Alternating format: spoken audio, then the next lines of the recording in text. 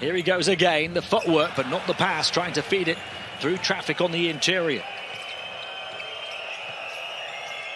Olympiacos will look to make it a double digit lead again, and then some.